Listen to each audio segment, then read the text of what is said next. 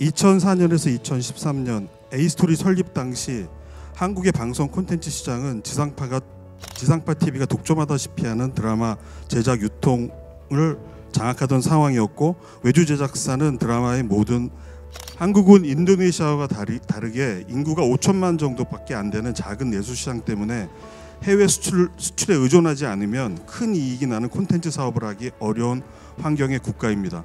그때 기획하고 제작한 드라마가 시그널이었습니다. 당시까지 한국의 제작 능력으로는 경험과 기, 술 부족으로 높은 완성도의 결과물을 만들어내는 것이 불가능할 것 같았던 판타지 수사물 장르에 도전을 하게 된 것입니다. 좀 전에 보셨던 AI 영상들은 제작비가 거의 제로에 가까운 그런 제작 결과물이라는 걸 이해해 주시면 감사하겠습니다. Pertanyaan saya singkat aja. Bersediakah membuat seri Korea syuting di Indonesia?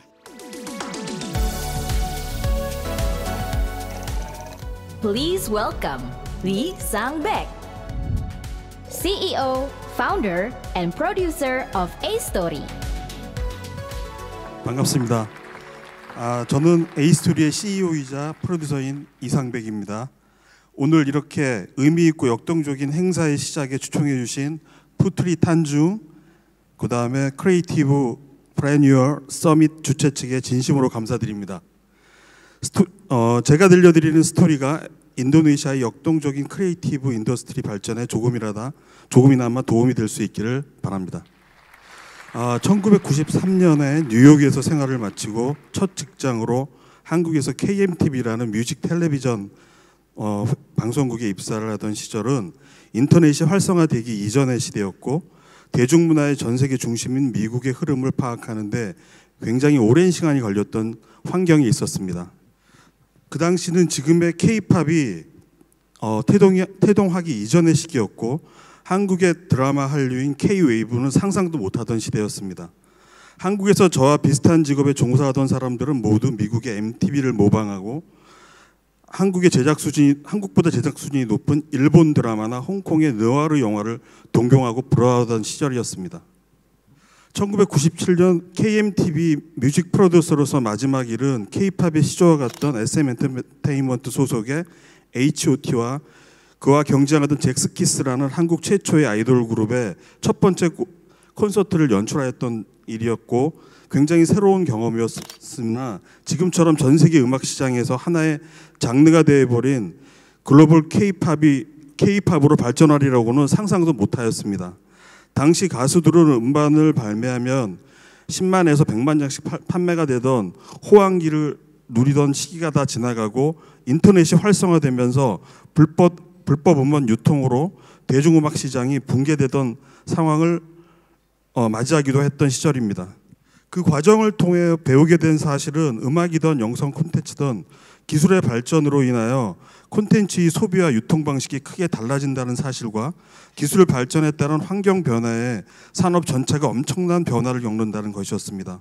그리고 그 당시 무선 인터넷 환경에서 무선 모바일 인터넷으로 바뀌는 과정을 겪으면서 그 간의 기술이 부족했던 제가 그런 기술 발전 속도에 대한 비관적인 평가를 하면서 놓쳤던 좋은 사업 기회들이 많았다는 것입니다. 그 교훈 덕분에 지금은 새롭게 등장하는 미디어 콘텐츠 제작 유통 기술의 트렌드와 변화들에 대해서 놓치지 않으려고 노력하고 있습니다. 2004년에서 2013년 A스토리 설립 당시 한국의 방송 콘텐츠 시장은 지상파가 지상파 TV가 독점하다시피 하는 드라마 제작 유통을 장악하던 상황이었고 외주 제작사는 드라마의 모든 저작권을 지상파에 넘겨주면서 PPL 또는 OST 유통 등으로 적은 이익만을 확보하며 회사를 유지하던 외주 제작사는 아주 불리한 사업 환경이었습니다. 그러나 그 당시에 시작되던 K-웨이브 한류의 확장의 가능성을 판단한 한국의 대기업인 CJ그룹에서 설립한 케이블 방송국 TVN이 생겨나서 A스토리에게 지분 투자를 하게 되어 CJ그룹의 케이블 채널인 TVN 최초 16부 미니 시리즈를 제작 납품하여 방송하였고 저희가 A스토리가 몇 년 후에 그때까지 불가능했던 국내 신문사들이 허가제 종합 케이블 방송을 경업하게 되면서 생겨난 종합 편성 채널들이 드라마를 제작하여 편성하는 국내 제작 유통사를 통하여 외적 성장을 하게 되어 국내 환경이 좋아지던 시절이었습니다. 그러한 시장 환경의 변화로 에이스토리는 꾸준하게 연간 두 편에서 세 편의 드라마를 제작하는 제작하 유통하면서 안정된 제작사로 성장하게 됩니다. 그러나 아시아 전역으로 한국 드라마 유통 시장이 확, 확대되었지만 드라마 수출 단가는 그리 높지 않았고 그나마 일본 덕분에 적절한 수출 단가를 유지하면서 작은 호황을 누리던 한국 드라마 시장은 갑작스러운 한일 간의 정치적 대립으로 일본 시장이 폐쇄되면서 어려운 상황에 처하게 됩니다. 제작비를 많이 투여했던 투여하면서 드라마 퀄러티를 높이려던 제작 환경이 손해를 만드는 환경으로 급변하게 됩니다. 2014년에서 16년 도약기 중국 OTT 시장의 시작. 당시 A스토리는 일본 시장이 정치적인 영향으로 갑작스럽게 폐쇄되는 것을 미리 예견하지 못하였고 당시 A스토리는 아시아권 전역에 인기를 끌다가 군대에 입대하여 전역하게 되는 한류 가수 비 레인을 주인공으로 하는 드라마를 기획하고 있었는데 일본 시장이 닫히면서 높은 출연료 때문에 미리 지급했던 높은 출연료 때문에 적자를 볼 수 있는 상황에 처하게 됩니다. 당시 한국의 드라마 1회 제작비는 회당 20만 불 이하였는데 가수 비의 출연료로 꽤 많은 비용을 지불하였고 제작하였기 때문에 일본에 수출하지 못한다면 큰 손해를 보는 상황이었습니다. 그러나 당시 중국에서 그전에는 들어보지 못한 신생 인터넷 콘텐츠 유통사들이 A스토리에 연락을 해오기 시작합니다. 새로운 공, 그러면서 새로운 국면을 맞이하게 되는데 당시 요쿠, 텐센트 비디오 같은 막 시작한 중국의 OTT 플랫폼 회사들이 콘텐츠를 구입하기 위해서 저희 회사를 찾아왔고 한류 스타인 비가 출연하는 우리 드라마에 대해서 중국 본토 수입 가격을 가격 경쟁이 붙게 되고 그 가격 경쟁으로 인하여 전체 드라마 제작에 육박하는 금액까지 중국 판권을 사겠다고 제안이 들어오고 결국 A스토리는 큰 이익을 보는 상황으로 바뀝니다. 당시 중국은 이미 미국에서 시작된 OTT 넷플릭스로 인한 영상 콘텐츠 유통 혁명을 충분히 이해하고 있었고 엄청난 내수 시장을 바탕으로 신속하게 중국 내 OTT 사업을 시작하고 있었습니다. 그러나 중국 또한 그 전에 영상 콘텐츠 시장은 legacy media인 방송국들이 저작권, IP와 제작 시스템 모두를 장악하고 있었기 때문에 영상 콘텐츠 라이브러리를 확보하지 못한 상태에서 새로 신, 만들어진 중국 신생 OTT들은 경쟁력 있는 할리우드나 중국에서 인기가 높은 한국 콘텐츠를 확보하기 위해 본격적인 경쟁에 돌입하게 됩니다. 그 OTT라는 그런 콘텐츠 유통 그 시스템 때문에 한국 방송계는 단기, 단기적으로 그 전에 경험하지 못했던 굉장한 큰 호황을 누렸지만 그런 호황은 IP를 가지고 있는 대부분의 방송국들에 국한되어 있었으며 그 과정에서 IP 확보의 중요성이 부각되고 있었습니다. 한국은 인도네시아와 다르, 게 인구가 5천만 정도밖에 안 되는 작은 내수 시장 때문에 해외 수출, 수출에 의존하지 않으면 큰 이익이 나는 콘텐츠 사업을 하기 어려운 환경의 국가입니다.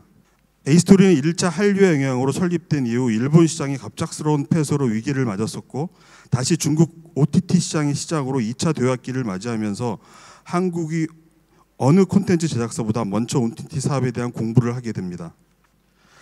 OTT는 한국에 없던 새로운 비즈니스 모델이었습니다. 중국의 OTT 플랫폼에서 배운 것은 이젠 헐리우드에서 막대한 제작비를 투입해 제작한 영상 콘텐츠나 다른 저개발 국가에서 저비용으로 제작된 콘텐츠들이 글로벌 OTT 플랫폼 내에서 무한 경쟁하는 환경이 펼쳐지는 것을 알게 되었고 시청자들은 선택할 선택만 할 뿐 그 콘텐츠들이 만들어진 과정이나 환경에는 아무런 관심이 없다는 것이었습니다. 이런 환경은 위기이자 기회를 뜻하는 것이었습니다. 2017년에서 19년 성장기 중국 OTT 시장의 부상은 아시아 콘텐츠 시장에 엄청난 변화를 일으킵니다. 수적으로 부족한 중국 영상 콘텐츠의 양을 늘리기 위한 중국 OTT들의 해외 콘텐츠 확보 경쟁의 여파로 헐리우드를 시작으로 한국, 일본 등의 legacy media들의 일차적인 이익이 발생하였고 그것만으로 부족한 콘텐츠를 더 확보하, 기 위해 확보하는 것이 어려워지자 중국 내에서 자체 제작 시스템을 확대하기 시작, 확대하기 시작했지만 그 당시 제작 인프라, 감독, 작가, 스토리, 기술 등이 부족한 중국의 제작 환경에서 필요한 해외 인력과 원천 IP 확보까지 경쟁이 경쟁의 영역이 확대되었고 그와 관련된 연결된 비용 등들이 단기적으로 폭등하게 됩니다. 또한 그 여파로 한국 제작 비용들까지도 높아지게 됩니다. 할리우드 시장의 진입이 꿈이었지만 감히 엄두 들어갈 엄두를 못 내고 있던 에이스토리에게는 중국 OTT 시장 환경이 사업을 확장시킬 수 있는 블루오션으로 다가와 있었습니다. 그때 기획하고 제작한 드라마가 시그널이었습니다. 당시까지 한국의 제작 능력으로는 경험과 기, 술 부족으로 높은 완성도의 결과물을 만들어내는 것이 불가능할 것 같았던 판타지 수사물 장르에 도전을 하게 된 것입니다. 제작비도 과거 A스토리가 제작했던 드라마보다 130% 이상을 투입하였고 결국 한국 시장에서 큰 성공을 거두었습니다. 이 드라마의 큰 성공으로 그 당시 한국 드라마 장르에서는 불모지에 가까운 판타지 수사물들이 쏟아져 나오기 시작했습니다. A스토리는 이 드라마를 기획 제작하였으나 당시까지 제작비 자체를 전, 전부를 투입, 하기에는 너무 부족한 작은 제작사에 불과했기 때문에 이 드라마가 방송되었던 TVN의 IP 권리를 넘기면서 제작비를 지원받게 되었습니다. 그 당시 해외에서 인기가 있었던 한국 드라마 장르는 주로 로맨틱 코미디였고 그런 장르가 아니면 해외 수출이 낮은 단가로 형성되거나 수익 구조가 나지 않았던 상황이라서 어, 이 드라마는 제작이 무산되던 이런 장르의 드라마들은 제작이 불가능했던 시기였습니다. 그러나 드라마 시그널의 완성도에 확신을 가진 에이스토리가 직접 이 드라마의 일본, 중국의 권리를 TVN에게 거꾸로 사들였고 그 확보된 권리를 가지고 일본 덴츠 그 당시 일본과 한국과의 관계는 아직도 정치적인 이유 때문에 어려움을 겪고 있는 상황이었음에도 불구하고 직접 찾아가서 그 유통을 설득하였고 중국 OTT 텐센트 비디오까지 가서 수출하는 성과를 만들어냈습니다. 그 결과는 일본에서 드라마 시그널 리메이크의 성공뿐 아니라 영화 시그널로까지 제작이 확장 확대되었고 중국 텐센트 비디오에서는 2017년 전체 최고의 성적의 해외 영상 드라마로 선정되기도 하였습니다. 결국 한국 드라마 제작사 중에서 유일하게 중국 텐센트가 에이스토리의 지분을 투자하게 됩니다. 이런 성장 과정에서 콘텐츠 제작사는 제작비를 아껴서 작은 수익을 남기는 것보다 퀄리티가 높은 작품을 만들어 승부를 봐야 한다는 소중한 교훈을 얻게 된 것입니다. 즉 글로벌 OTT의 무한 경쟁 시장에서의 퀄리티가 높은 작품을 만들어야 한국보다 더 큰 시장이 인 해외에서 성과를 만들어내고 그러한 시장에서 만들어진 좋은 평가로 인하여 선순환으로 더 큰 이익과 새로운 사업 기회가 온다는 중요한 사실을 알게 된 것입니다.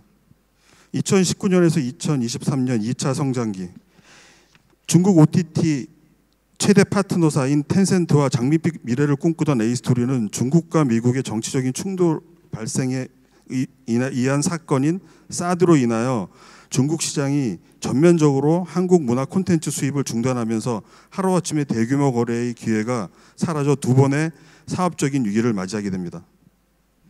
이미 중국 시장을 기반으로 한국 제작비의 단가가 급상승한 상황에서 중국 시장의 폐쇄는 한국 영상 콘텐츠 시장에 대혼란을 일으켰습니다. 암울한 시장 환경에도 환경에서 미국의 넷플릭스가 한국으로 본격 진출을 선언하면서 A스토리를 찾아오게 됩니다. 시그널의 성공을 이어가기를 기대하던 상황에서 시그널 2를 제작하면서 커다란 수익이 가능하였지만 시그널의 작가인 김은희 작가가 과거에 초안을 써놓았던 사극 드라마 킹덤을 하기를 원하였고 그토록 꿈꿔왔던 헐리우드 시장에 새로운 강자로 부상하고 있는 OTT 넷플릭스와 직접 작업을 하며 미국 시장을 들어갈 수 있겠다는 판단으로 또한 유리하게 일부 IP에 대한 권리를 넷플릭스부터 받는 조건으로 최초의 한국 넷플릭스 오리지널 드라마 킹덤을 제작하게 됩니다. 과거에 유사한 사례가 있었지만 킹덤은 한국 영화 시장에서 능력을 인정받던 영화 감독이 본격적으로 드라마 제작에 참여한 첫 번째 주요 사례입니다. 제작 과정에서 한국 드라마는 일반적으로 하루에 최소 8에서 15씬을 촬영하기 하였는데 이 드라마의 제작 과정에서는 하루에 한 씬을 촬영하는 영화식 제작을 하게 되었고 그 결과 넷플릭스와 합의되었던 제작비의 두 배를 넘기는 상상 초월의 위기의 상황이 발생하였습니다. 넷플릭스의 동아시아권 최초의 오리지널 드라마로 시작한 킹덤은 당시 한국 드라마 제작비 최, 최고 회당 어, 100만 불의 2.5배를 넘기는 제작비를 투입하였지만 촬영 원, 그 결과가 명확하지 않았고 그 촬영의 원본을 확인한 넷플릭스 미국 본사가 그 촬영 결과를 본 이후에 추가 촬영 진행과 제작비 지원 결정을 내리면서 계속 제작이 진행이 되고 결국 잘 마무리되게 되었습니다. 넷플릭스의 마케팅 지원과 투자 덕분에 동아시아 최초의 넷플릭스 오리지널, 오리지널 드라마인 킹덤은 미국 뉴욕 타임즈 등을 포함한 한국 내 메이저 언론사들의 찬사를 받으며 시즌 2까지 제작을, 제작을 이어갈 수 있었습니다. 글로벌 OTT 플랫폼 넷플릭스 덕분에 A스토리가 제작한 드라마가 미국을 포함한 전 세계 국가에 방영되는 성과는 이루어냈지만 플랫폼과 오리지널 계약은 추가 인센티브가 없는 고정 수익 계약이기 때문에 금전적으로 큰 수익을 올릴 수는 없었습니다. A스토리는 그 기회와 회사의 글로벌 브랜드 가치를 다른 방향으로 전환하여 한국 주식, 주식시장으로 진입 IPO에 성공합니다. 지상파를 비롯한 광고 수익에 의존하는 legacy 미디어가 장악하고 있는 한국 영상 콘텐츠 시장에서 에이스토리와 같은 작은 제작사가 IPO를 하는 것은 불가능에 가까웠지만 넷플릭스를 통한 할리우드 시장의 연결과 그로 인한 향후 시장 확대 가능성과 이익 발생에 대한 기대감으로 성공적인 IPO를 하였고 중국 시장의 폐쇄로 인한 어려움을 극복할 수 있었습니다. 또한 글로벌 OTT와의 작업을 통해 헐리우드의 최첨단 제작 기술을 습득할 수도 있었습니다. 킹덤은 할리우드의 제작사나 플랫폼 회사들까지 소개되어 A스토리가 그토록 꿈꿔왔던 할리우드에서 인지도를 높일 수 있었고 미국으로 출장을 가서 미국의 제작자들과 미팅도 어렵지 않게 이루어지, 게 되었습니다. 과거에는 거절당하던 미팅이 순조롭게 성사되어 헐리우드 시스템을 배우게 되었습니다. 바로 그 출장에서 오던 비행기에서 A스토리의 다음 mega hit 드라마인 이상한 변호사 우영우의 영감을 받은 영화 한 편을 보게 되었고 그 영화의 시나리오를 집필한 영화 작가를 섭외하여 이상한 변호사 우영우의 드라마 대본의 집필을 의뢰하게 되었습니다. 과거 넷플릭스 오리지널의 드라마 제작과 계약 경험을 바탕으로 이번에는 글로벌 OTT 오리지널 드라마가 아닌 IP를 A스토리가 확보하는 방영권 라이센스 계약 방식으로 계약을 진행하였고 그 드라마의 성공으로 넷플릭스와 A스토리 양사가 만족하는 글로벌한 성공을 이루 게 되었습니다. 한국 내 내부에서는 받을 수 있는 모든 상을 다 수상하였고 미국 비평가 협회 Critics Choice Awards 그다음에 최우수 외, 어, 국제 에미상 International Emmy Awards의 모든 시상식에 최우수 드라마 후보에까지 오르는 영광을 누렸으며 전 세계 10개국에서 리메이크를 제안받게 되었습니다. 현재 미국 등 해외에서 리메이크 등 2차 사업이 추진되고 있으며 한국에서 시즌2의 대본 집필이 진행 중에 있습니다. 이는 IP를 확보하기 때문에 가능했던 사업 전개입니다. A스토리는 제작하는 드라마의 IP를 확보하는 독창적인 모델로 드라마 자체의 리메이크에 그치지 않고 게임, 뮤지컬, 웹툰, NFT, 머천다이징 등 다양한 IP 비즈니스를 전개하고 있는 유일한 한국의 독립 제작사입니다. 앞으로도 제작하는 글로벌 콘텐츠 tentpole 작품들의 IP를 바탕으로 다양한 360도 IP 비즈니스를 전개할 예정입니다. Beyond 2024년 A스토리는 현재 제작에 작년에 제작 방영되었고 아마존 미, 어, 아마존 프라임이라는 OTT를 통하여 전 세계에 배급되었던 드라마 유괴의 날의 IP를 가지고 영국의 드라마 제작사 HAUK와 함께 영국 드라마로 현지 공동 제작 방식으로 리메이크를 진행 중에 있으며 확보된 다른 드라마 IP를 활용하여 해외 리메이크 사업을 추진하고 있습니다. 최초로 어느 나라에서든 발생 가능한 교통 범죄 사건, 교통 범죄 전담 수사대를 소재로 한 한국 드라마 크래시 시즌 1의 성공적인 제작을 방송 제작 방송을 하였고 이 드라마의 국내 시즌 2를 추진 중에 있으며 향후 해외 리메이크도 진행할 계획을 가지고 있습니다.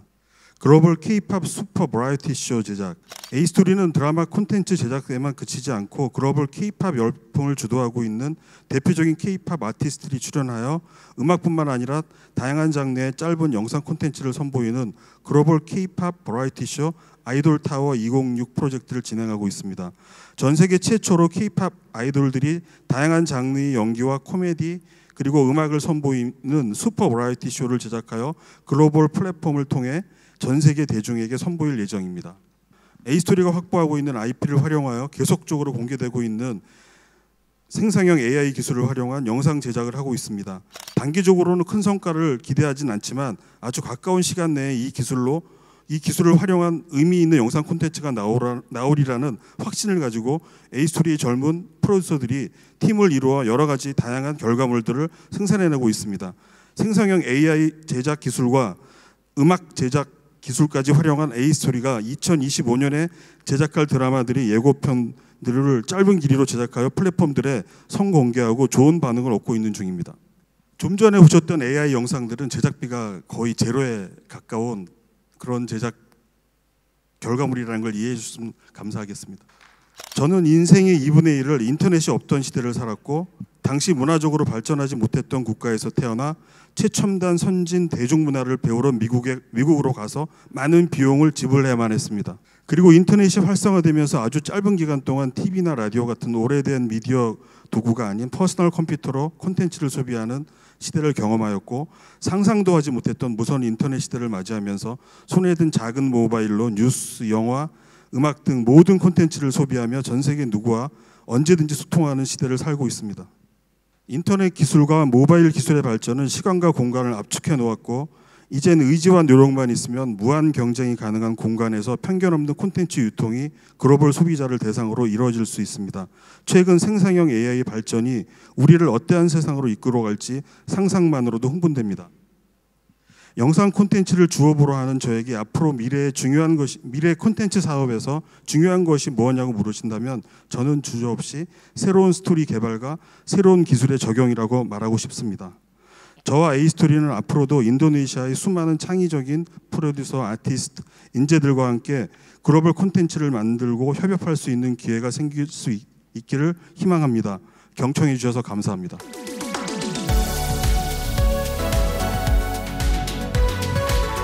Pertanyaan saya singkat aja. Bersediakah membuat seri Korea syuting di Indonesia? 저희 회사에서 지금 저희 회사의 컨텐츠 담당으로 있는 그 국장님이 계시는데 과거 SBS에서 발리에 생긴 일이라는 드라마를 연출한 분이에요. Iya ada Pak, kita ada rencana untuk itu Pak. Iya. Dan sebelumnya tangan dulu dong. sebenarnya dulu itu eh, beliau itu punya eh, atasan Pak. Nah atasannya beliau itu adalah orang yang kerja di SBS, salah satu stasiun TV Korea. Dan pernah membuat film What Happened in Bali Pak dulu. Iya, jadi tertarik untuk buat konten lagi nih di Bali nih. Seperti itu. 그게 20년 전에 만들어졌던 거기 때문에 영상 포맷이 되게 지금 Nah, 유통하기에는 좀 untuk film sen- yang dibuat di Bali itu sudah 20 tahun yang lalu, Pak. Mungkin kita perlu renew lagi nih, Pak. Kita perlu renew lagi. 저는 발리에서 그거를 다시 리메이크해서 그 당시는 한국만 발리가 굉장히 인기 있는 플레이스로 각광을 받았지만 전 세계에 뻗쳐 나가서 전 세계에 인기 있는 장소로 한 번 더 각광을 받기를 그래서? 또 저희와 인도네시아가 더 흑- 이익을 보는 그런 공동 성공의 어떤 과정을 겪고 싶습니다.